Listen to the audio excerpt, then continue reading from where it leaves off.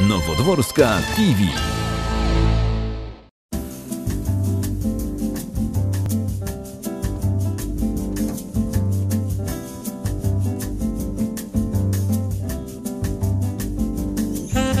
Panie burmistrzu, za nami rok 2011. Jakby pan go podsumował?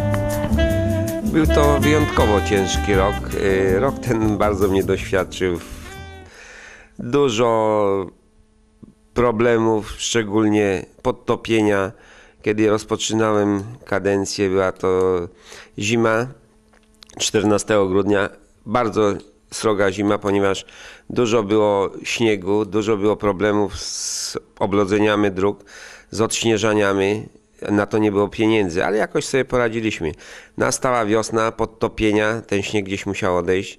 Nie było przepustów porobionych przed drogami. Woda magazynowała się e, w zagłębieniach, gdzie po prostu dużo było podtopień. Ludzie dzwonili, nie było soboty, niedzieli dla mnie w, tej, w tamtym czasie, tylko po prostu musiałem wtedy interweniować, podejmować trudne decyzje, no ponieważ uważałem, że łatwiej zainwestować w przepust, który po prostu nie został zrobiony, a powinien być zrobiony i zrobić go, jak płacić kolosalne pieniądze za yy, ekipy strażackie, które w tym czasie pompowały te wody.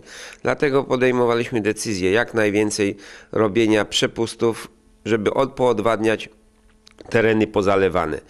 Te, y, ten brak tych przepustów do, przyczynił się też do tego, do zniszczenia dróg. Przykładem takim ewidentnym była droga w Miękoszynie, kiedy zginęła po prostu droga z powierzchni, weszła w grunt, zniknęło, ale to już przeszło, ponieważ tą drogę tam przyczyniło się do tego też dużo firm, które budowały wiadukt w Studziankach, także one na własny koszt porozumienie spisaliśmy. Utwardzono tą drogę bardzo dobrze, położono na ten asfalt i mam ładny kawałek drogi gminnej, która teraz jest praktycznie, ma standardy może nawet drogi powiatowej lub wojewódzkiej, która mogą jeździć naprawdę ciężkie samochody i na pewno się już nie zginą. Tutaj pokłon w stronę kolei, że po prostu postąpili tak jak trzeba z nami. Ogromnym sukcesem to, co zrobiłem, a zrobiłem to no, na zasadzie oszczędności, dużych oszczędności w administracji szczególnie.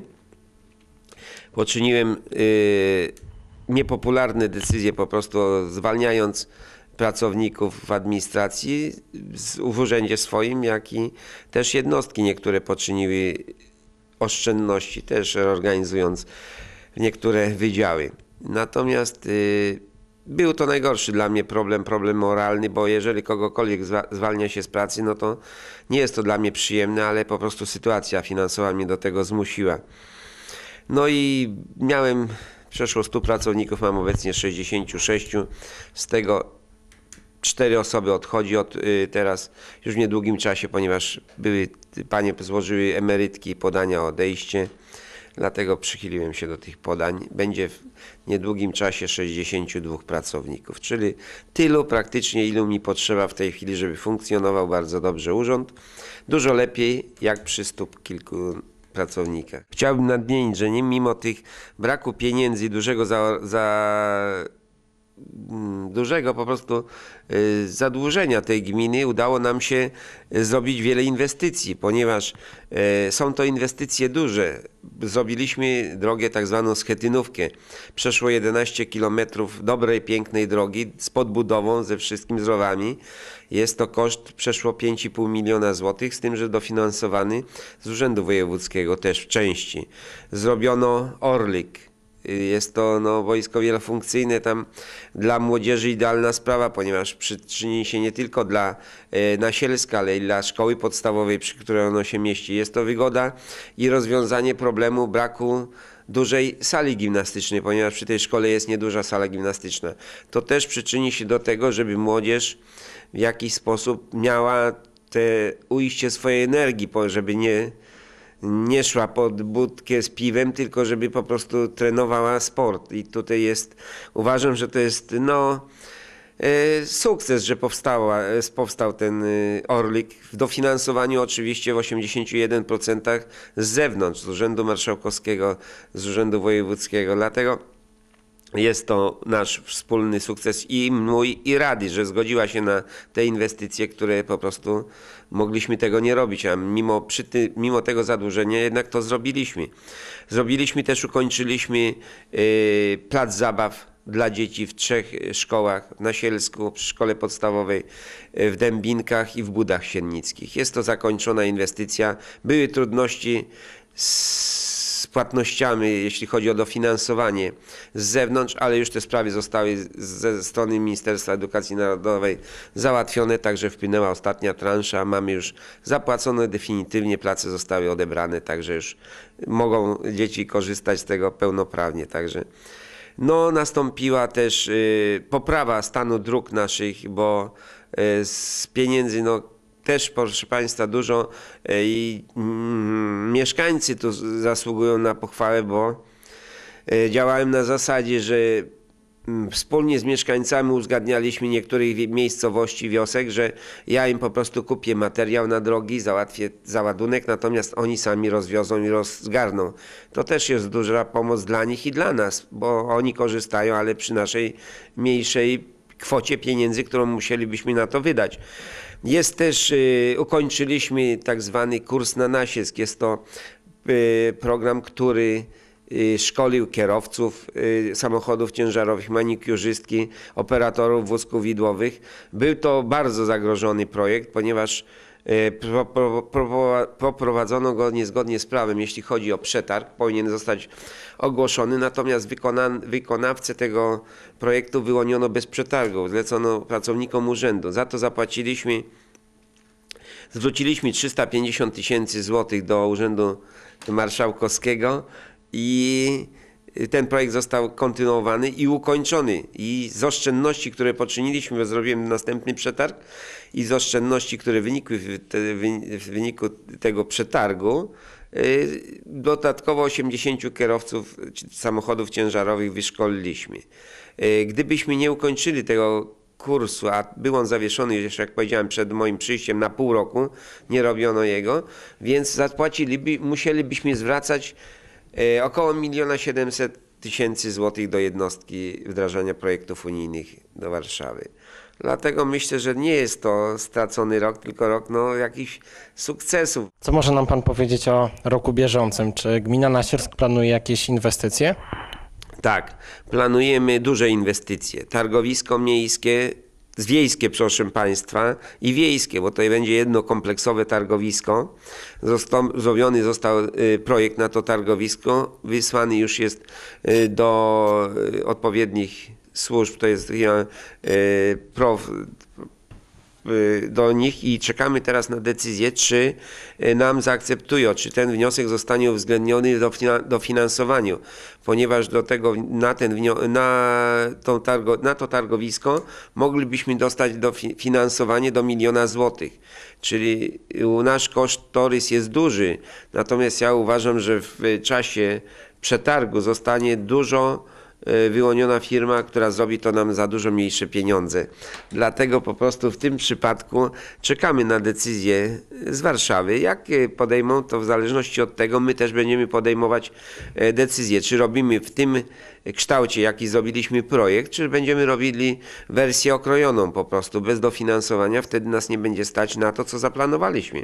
Gdzie to lo, e, targowisko będzie zlokalizowane? Modernizowane na obecnie istniejącym targowisku przy ulicy Lipowej. Mamy tam duży obszar, przeszło gdzieś 11 tysięcy metrów kwadratowych i myślę, że na dzień dzisiejszy nam to y, ta ilość y, powierzchni by wystarczyła, żeby zrobić naprawdę targowisko z prawdziwego zdarzenia, spełniające wszelkie normy Unii Europejskiej. I takiego targowiska nie, ma, nie byłoby w promieniu tutaj o przynajmniej 50 km, jeśli nie dalej. Jeszcze chciałbym tylko y, powiedzieć o oszczędnościach, jak mogę wrócić do zeszłego roku. Na co y, się złożyło? Między innymi y, zlikwidowałem Straż Miejską i mam pełną świadomość, że dobrze to zrobiłem. Dobrze, że to zrobiłem, ponieważ y, Straż ta tylko działała w tych godzinach tam, w takich, y, od godziny 8 do godziny 16 y, lub podobnych, a w tym czasie najmniej przestępstw się odbywa. Ja bym chciał, że jeżeli ma być działać tutaj wszystko dobrze w tym Nasielsku, to żeby to działało 24 godziny na dobę. Natomiast w ogóle nie stać nas było na powołanie Straży Miejskiej. Dlatego ja ją między innymi odwołałem dlatego, nie dla zasadzie tego, że źle działała, tylko na tej zasadzie, że po prostu gminy nie było stać na to, żeby utrzymywać Straż Miejską, ponieważ utrzymanie to się wiązało przeszło 300 tysięcy złotych rocznie. Natomiast jeszcze jest duża oszczędność w jednym sektorze, ponieważ zlikwidowałem ochronę urzędu tutaj, ale nie w tym sensie, że urząd nie jest chroniony, tylko po prostu za, uruchomiłem monitoring, który już był wcześniej tu założony, a tylko po prostu podpisaliśmy nową umowę z e, firmą, która nam ochrania ten urząd i zamiast 14 300 zł, które płaciliśmy, płacimy w tej chwili 13 tysięcy, 3 tysiące, przepraszam, 300 zł miesięcznie. Także 14 tysięcy miesięcznie uważam, że to jest duże, e, duże są to oszczędności, jeśli chodzi o ten. I dzięki tym właśnie oszczędnościom mogliśmy zrobić między innymi dużo e, tych inwestycji, które też robiliśmy i zadbać o to, żeby drogi były jakkolwiek przejezdne. Jeśli chodzi o inwestycje, bo zapytał Pan mnie o inwestycje, które będziemy robić w tym roku, to oprócz tego targowiska będziemy robili chodnik wspólnie z zarząd, Mazowieckim Zarządem Dróg Wojewódzkich. E, Podpisaliśmy umowę, robimy chodnik. Jest to niezbędny od osiedla, które powstało przy ulicy Płońskiej, tu w stronę Nasielska ponieważ dochodzi tam do częstych wypadków. Jest podpisane porozumienie, w wyniku czego y, materiał daje nam MZDW, natomiast my robimy wykonawstwo i część materiałów dokładamy swoich. Takie było uzgodnienia z chwilą poprawy warunków atmosferycznych przystąpimy po prostu do tego działania, ponieważ już mamy porozumienie podpisane z zarządem naszym gospodarki komunalnej i mieszkaniowej, ażeby tą inwestycję po prostu oni robili w naszym imieniu. Jeszcze jest po prostu, jeszcze są, je, będę chciał też zmienić na ulicy Rynek, ponieważ są tam bardzo złe chodniki. Będę chciał zmienić część tych chodników. Też już e, zrobiliśmy kosztorys tego, tej wymiany. E, Zleciliśmy Zakładowi Gospodarki Komunalnej, żeby zrobili kalkulację swoją i żeby nam przedstawiono tą kalkulację. Jeżeli dojdziemy do porozumienia, to też Zakład Komunalny będzie nasz wykonywał tą inwestycję. E, Też jest e, kwestia dla mnie ważna będzie odwodnienie gminy. Poczyniłem już rozmowy ze starostwem, ażeby, bo jest problem po prostu własności rowów. W tej chwili nie wiemy, czyje rowy są czyją własnością.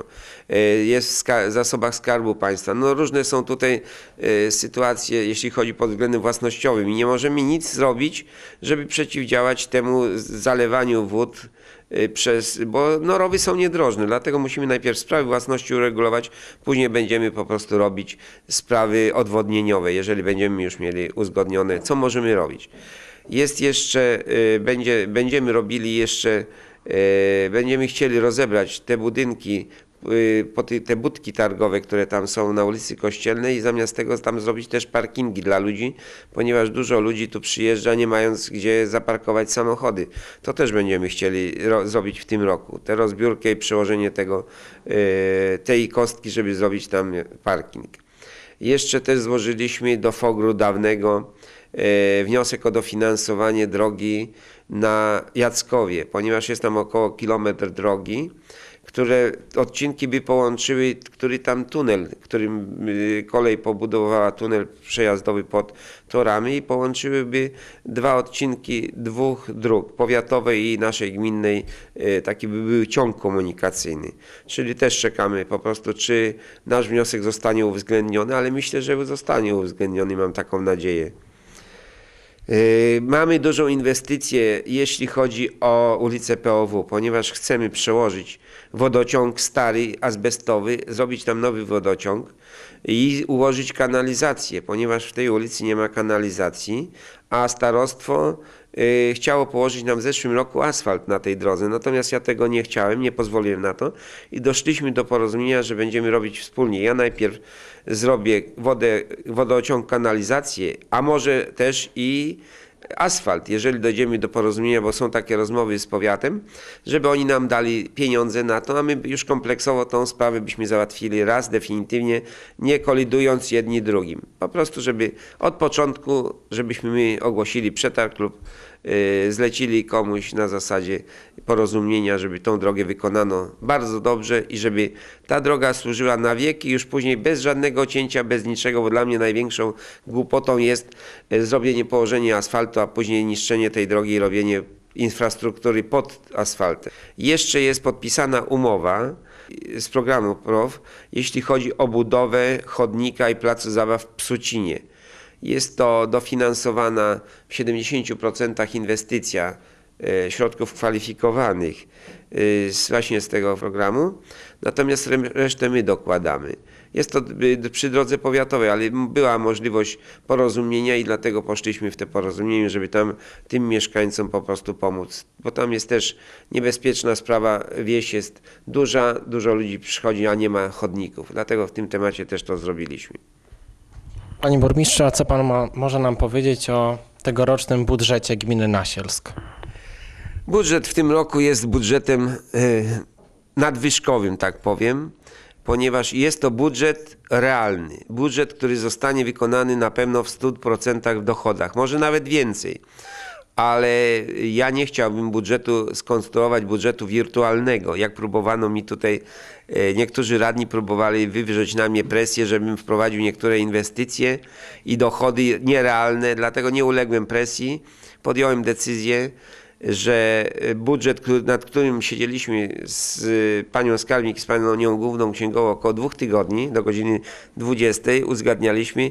Nie pozwoliłem, żeby y, radni w ciągu sesji lub komisji mi zburzyli ten budżet, ponieważ jest to naprawdę budżet dobry.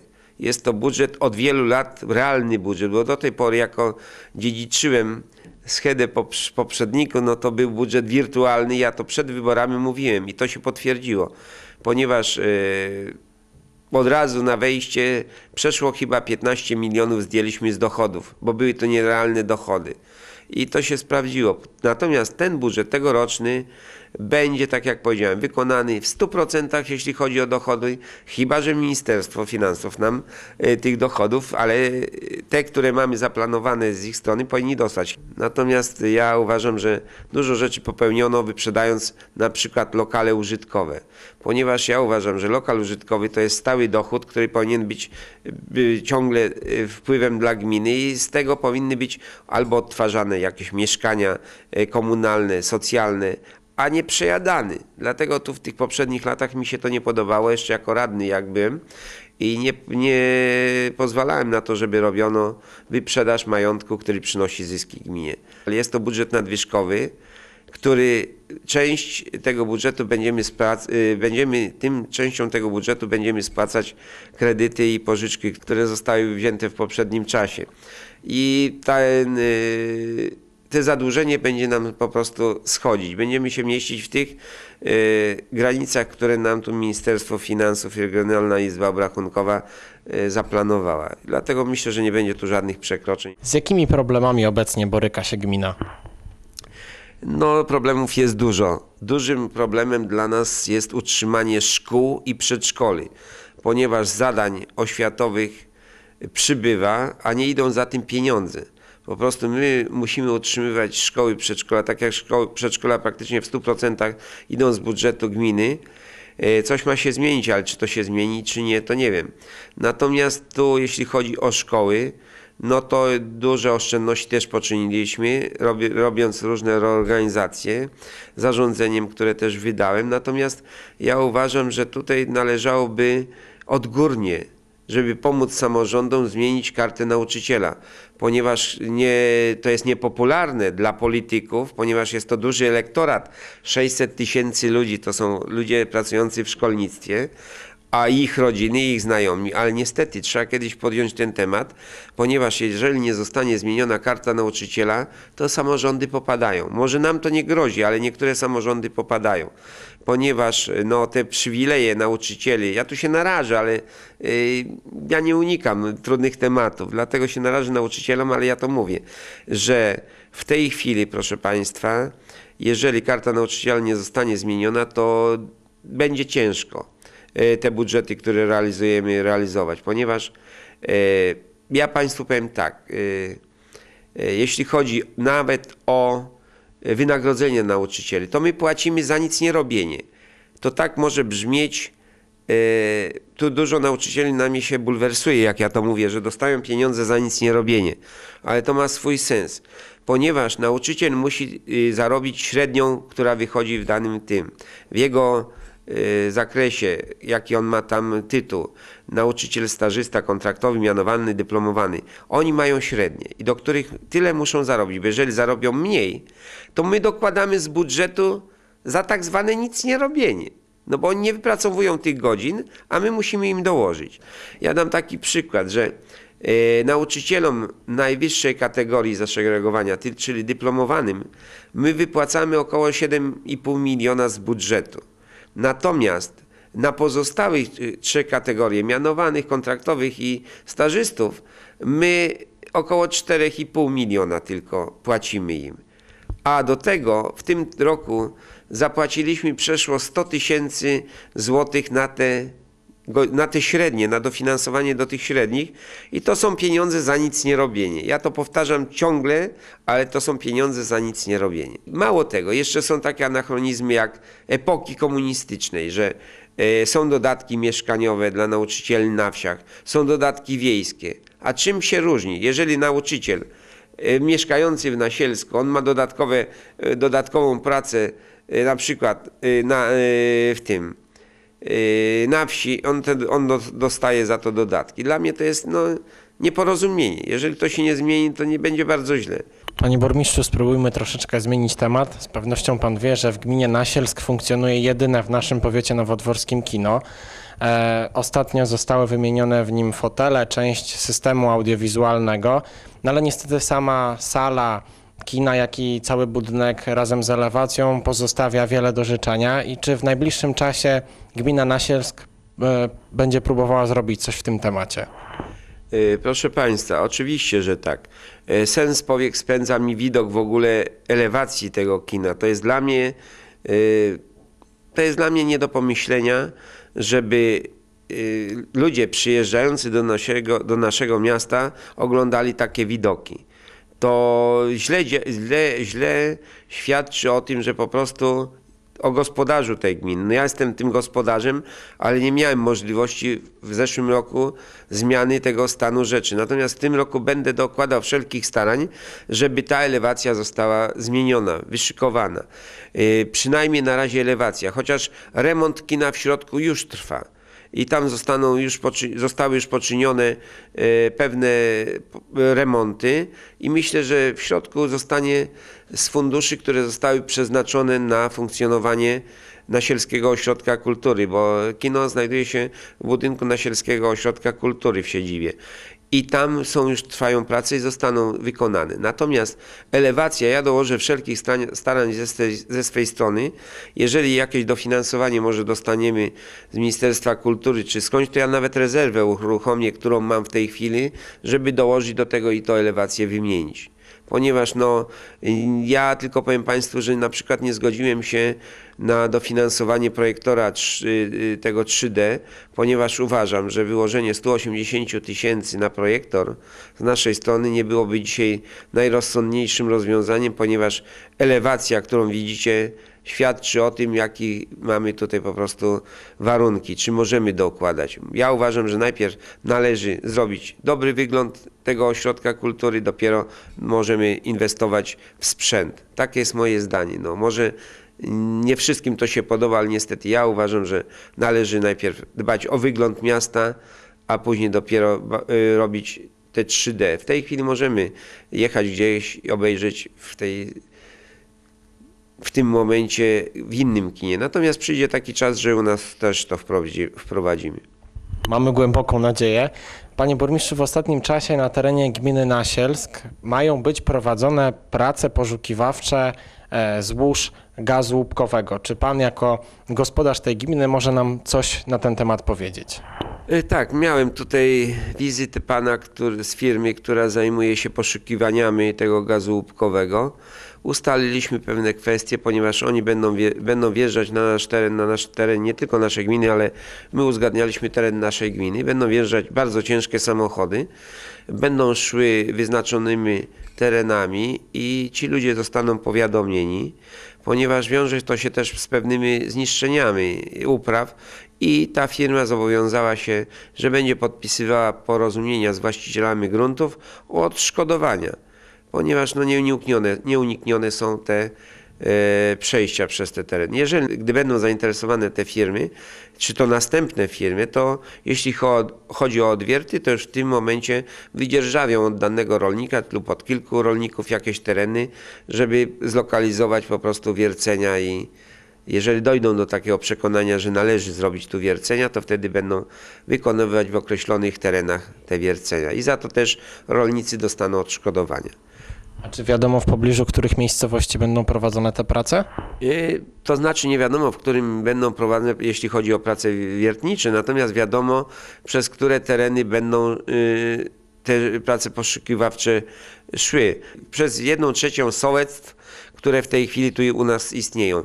Między innymi Krzyczki, Pniewo, y, Pianowo, tutaj jeśli chodzi Broninek, y, to, są, to jest no, jedna trzecia gminy zostanie po prostu z, prze, y, ujęta tymi pracami poszukiwawczymi. Kończąc już naszą rozmowę, niech nam Pan powie, co obiera Pan sobie za największy cel do zrealizowania w bieżącym roku? Y, Proszę Państwa, te inwestycje, które zaplanowałem, oprócz tego jeszcze może w międzyczasie y, jakieś wyjdą dodatkowe inwestycje, które można by było zrobić, ale oprócz tego to po prostu usystematyzowanie pracy urzędu i jednostek podległych. Po prostu, żeby funkcjonowały jak najlepiej, jak najtaniej, może nie zawsze się to da, ale będę tak to chciał zsynchronizować. I przede wszystkim, żeby klient wchodzący do urzędu był klientem, a nie niepotrzebnym petentem. Nowodworska TV.